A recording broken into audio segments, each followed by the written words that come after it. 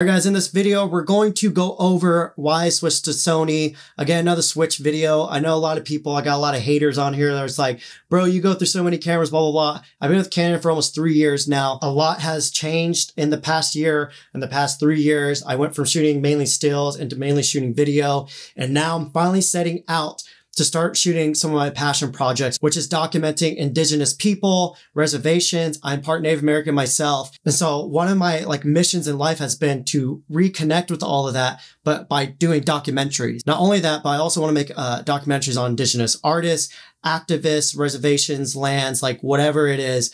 Um, I, I, I just want to document it. So that's what set out this whole transition into Sony because they just have more to offer. There's no gatekeeping. Canon's just, uh, we'll get into it. So let's, let's just, let's go. First off, real quick, I already did a live saying why I was leaving Canon, but I'll touch on that a little bit more. Yes, I had the R5C. It was a great camera, great hybrid camera, but there's two different types of, of, of, hybrid, two different types. Say one day you're doing a photo shoot, the next day you're doing a video shoot. R5C is perfection for that. But if you have a gig where you're shooting photos and videos on the same day, R5C is pure garbage just because of the battery life. You have to rig it up every time if you want to do video. The R5 is a little bit better, but the R5, overheats a little bit. The overheating got better on it, but the dynamic range is very limited on the R5. So hence the R5Cs, you get another two to three stops of dynamic range. Overall, the quality just looks better. Layout, the user interface, switching between photos and, and video. It's like the cinema menus are insane. But there's been a couple gigs where the R5C was just not enough for how fast run and gun, uncontrolled situations. I'm still making good money on jobs like that. But you know what? I don't I, I don't always have the opportunity to set up a damn light, control where we're shooting at and all that. So you got to go with the flow. Basically, I was just saying Canon doesn't care about us. We saw what they did with third party lenses. They're suing them if they have any autofocus or any like electric contact with the camera. Like if they really care about the customers and, and on all of us creators and creators, they would give us third party lens support, but they're not. So I think that kind of uh, was the nail in the coffin to all of my suspicions on Canon. We go over real quick just with C-Log 2. In order to get C-Log 2 on the R5C, you have to shoot in RAW. RAW is not the most realistic codecs for majority of my gigs. So I'm shooting music videos, R5C is perfect in the RAW. Otherwise, I'm going to a fashion client and I'm doing uh, motion for them.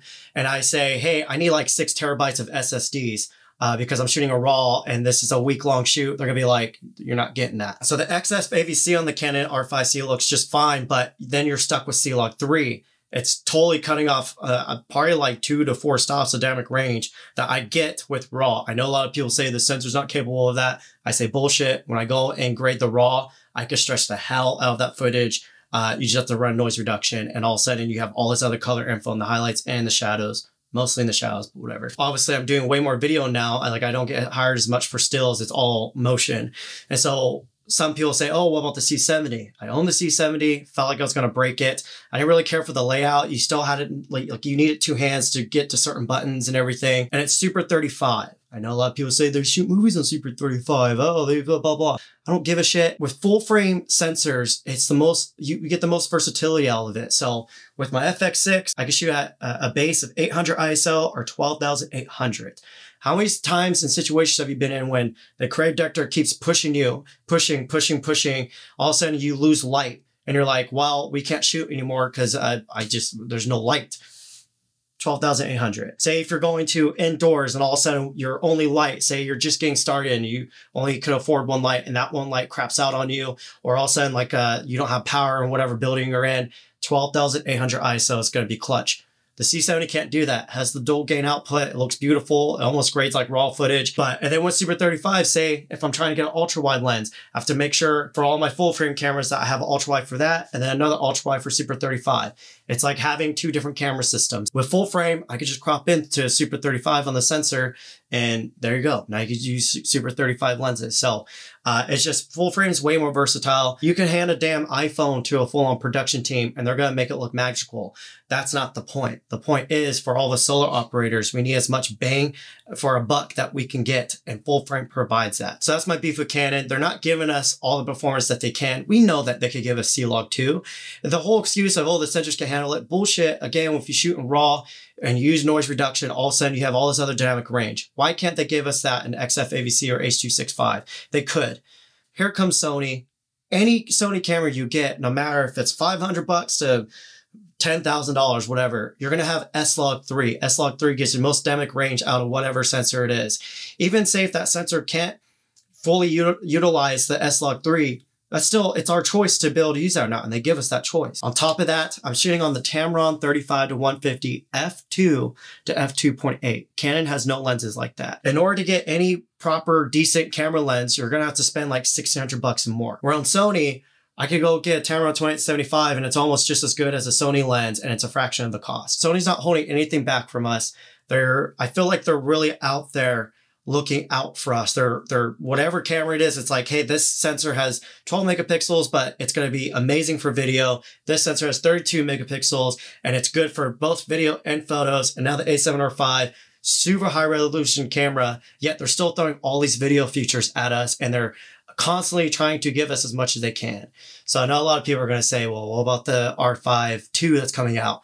That's great, but that's one camera and it's still not going to have C-Log 2 and XF AVC. They're not going to give it to us. Canon's like a pyramid scheme. They don't, they don't care about what we can afford and, and us being starving artists and creators and business people trying to make money off our passion and, and creativity. They don't care about that. They care about the person walking to Best Buy and looking at all the Canon cameras for the name recognition and saying, I want that camera. I, I feel like that's their target audience. And I feel like they're going to lose a lot of us, like the actual people they're actually dumping thousands and thousands and thousands of dollars into their gear because they don't care about us. Sony's like very, I want to say they're very, it's almost like they're wholesome in a way to where they're willing to work with creatives, uh, again, all the cameras is jam-packed stuff. So let's lead into uh, Sony ambassadors. Like many of you, when I first saw all these people switching to Sony, I was like, Sony's out here sniping people, just gobbling them up and making them all turn them into sellouts, blah, blah, blah. The only reason I thought that is because I wasn't familiar at all with the Sony lineup at all.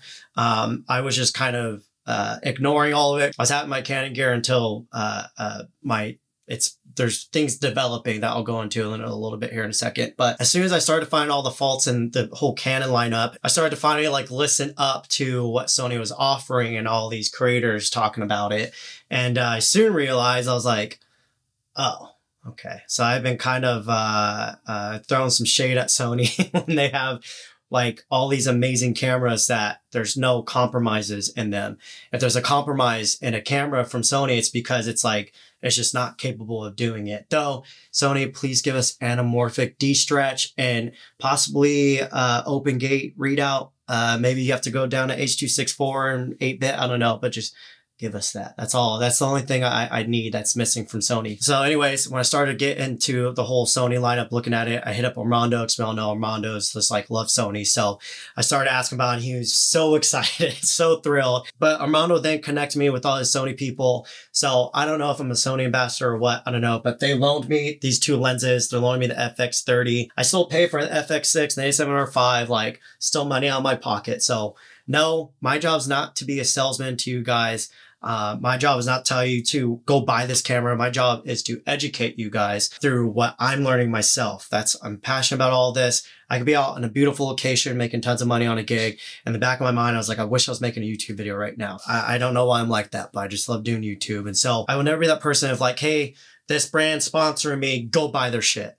No, that's not what that's not what I'm about. I like to keep it just upfront and honest. I'm honest to a fault. Uh, sometimes it gets me in trouble in life. Sometimes it doesn't. Mean, whatever. But anyways, we'll see how this relationship with Sony develops and everything. Let me touch a little bit upon my my needs real quick. October, I got to direct this job where it kind of relit a previous passion of mine and a previous goal that I just kind of always ignored just because I was kind of too overwhelmed to really go after it. Um, and that's making indigenous documentaries covering different reservations and native artists. And uh, this gig that I did, it kind of just opened a floodgate to me wanting to do that. And when that happened, I had my R5C rigged out for another documentary thing I'm not allowed to talk much about right now, but I just, I don't know, I just realized it wasn't the camera uh, for that job. And so that that's where my career is leading to. So again, when I started look all the Sony stuff, the FX6 just like I was like, okay, I get this camera now. When it first came out, I totally ignored it. I did not care about it at all. Before I start talking about that, let's talk about color science real quick. This is to be a long ranting video. I apologize, but color science. So you guys know previous videos, I said I didn't care for uh, Sony color science. Their color science has developed a lot. Part of the reason I was saying that back then was because I was trying to figure out the look that I was trying to like, I had a look in mind. I didn't know how to do that look. I was self aware that most of it was like on me, but I was blaming other cameras of like, oh, I just can't get the camera to look the way I want, blah, blah, blah. It is our job to know how to get any camera to look any way we want, especially when you're shooting in RAW or in log. We'll talk about video after this. When you're shooting in RAW, we have all this color info and dynamic range within a photo. Why can't we get it to look the way we want it if it's all just color science? It's all just color. I was questioning this myself. And when I had the Canon, I figured out the Canon didn't need any color adjustments. It just needed a curve. And that was the way I started to like get a film look out of my, uh, all my Canon stuff. Uh, on top of that, with then going grade, I didn't have to do any hue shit. I was like, let me go and test all of this like newfound, uh, information, uh, on my old A7R4 files. Did that and I was like, oh, like this looks pretty damn good actually. So in the past month when I started researching all the Sony stuff, I had a bunch of buddies send me stuff. Armando sent me some footage. Gabe and Alex sent me some footage. Like I was able to edit five images that look just like my Canon stuff, which I wouldn't, I like, I'm shouldn't be saying it looks like my Canon stuff. It just looks like my stuff. I was able to edit those five images within like 10 or 15 minutes.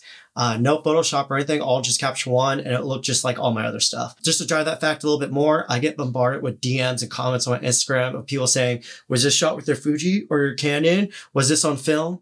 Just goes to show you like it's all it's up to us to have that look and to know how to get that look. I can't say that Canon helped me get to that point, but now that I have all that knowledge on how to get the look I like, editing the files off this is a breeze. Let's talk about video real quick. When it comes to log, there's no, there's even less excuses. If you're having trouble grading your Sony footage, stop blaming the footage. It's your fault.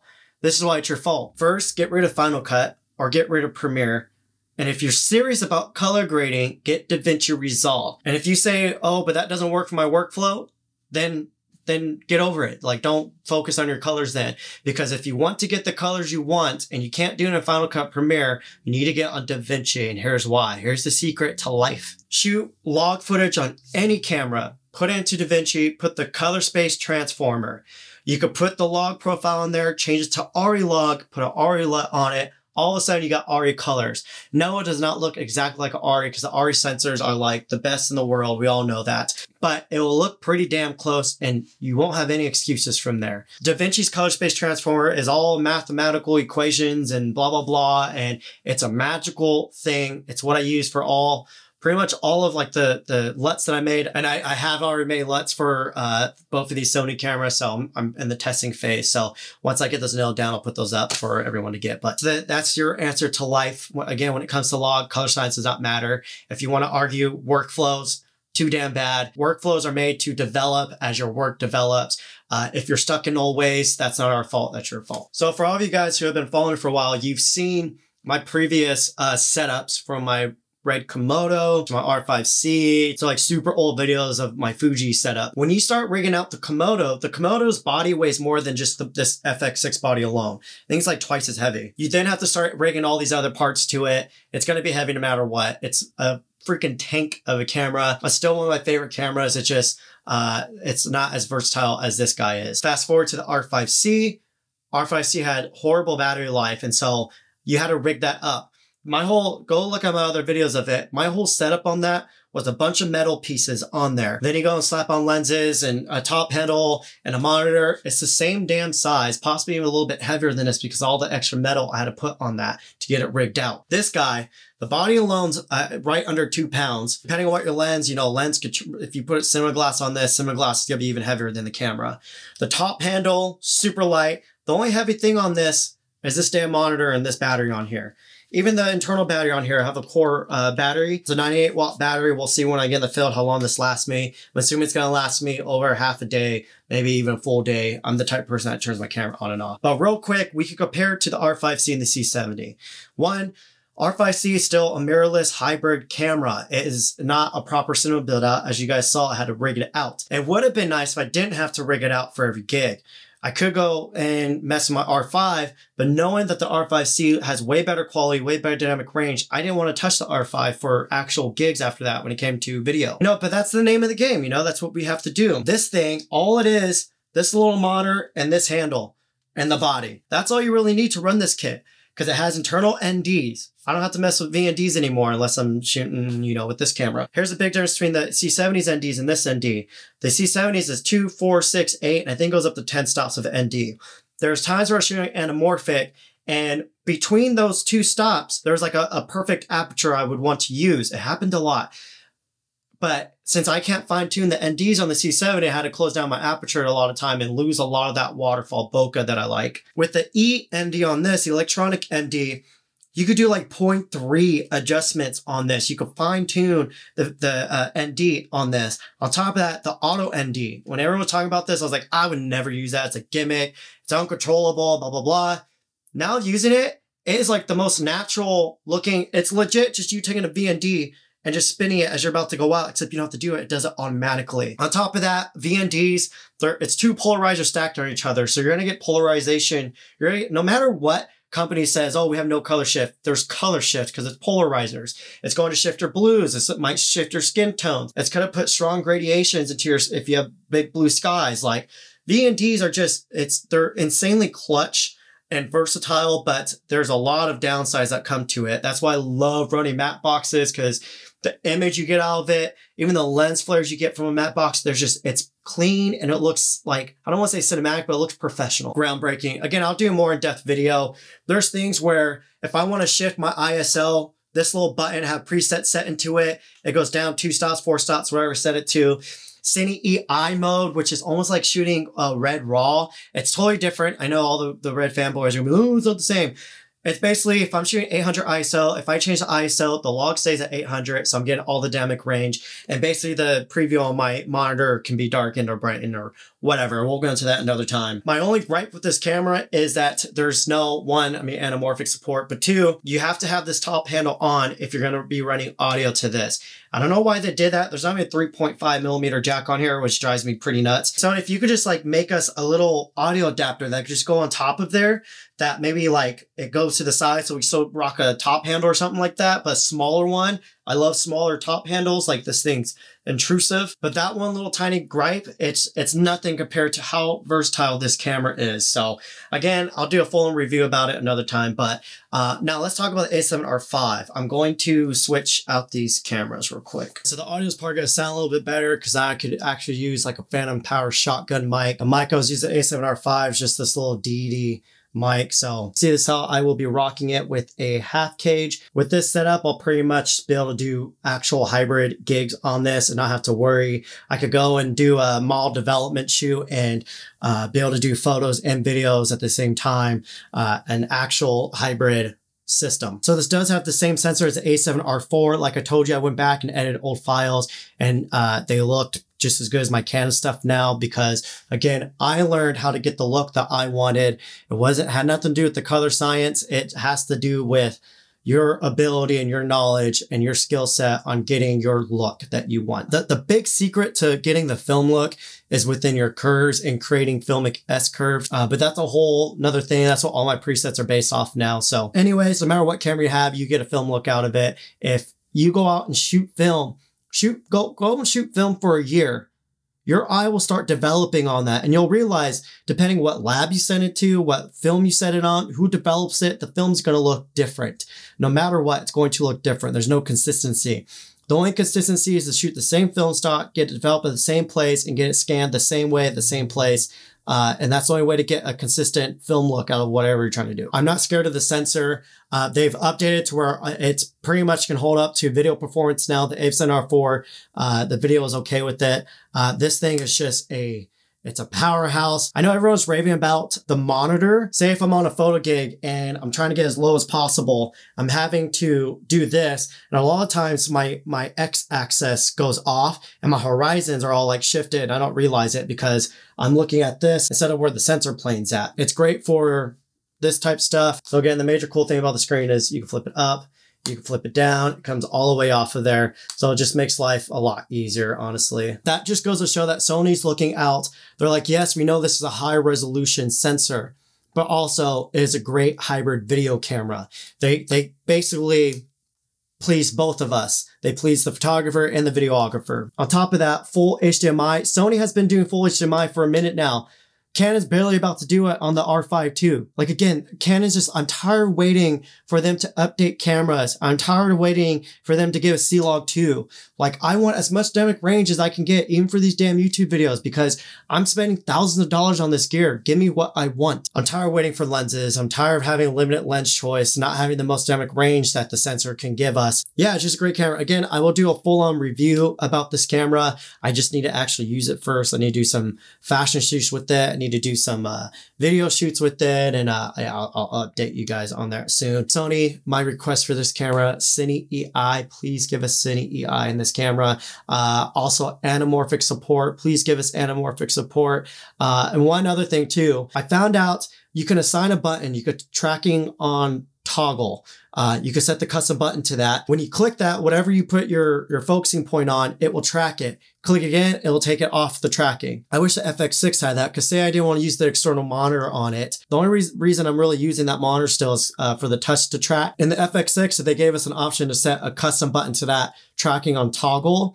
That would like, uh, that, if, oof, please, please, Sony, I know you love us. Give us, give us these, just these few little tiny more few, just a tiny bit more tiny bit more. Oh, my notes real quick because I did do a questionnaire thing on Instagram and someone asked, why did you pick the A7R 5 versus the Canon R5. I'm kind of in the same boat right now. This is one thing, when I was about to switch to Sony, I thought I was going to get a lot of hate, but it's been the opposite. There's a lot of people contemplating switching because we keep hearing all these amazing things that Sony's doing. We're over here just like, well, maybe Canon in like two years will give us that. Maybe when they finally release the R1, it will give us that. Uh, but then you're still stuck with RF lenses and who knows if you're going to get C-Log 2 on and on and on. And the way I reply with that is S-Log 3 versus C-Log 3. C-Log 3 is pure garbage. I, I don't care if you want to argue the whole workflow thing again. Uh, I hate C-Log 3. C-Log 2 is the GOAT when it comes to Canon, and they're not giving us their GOAT profile. Why?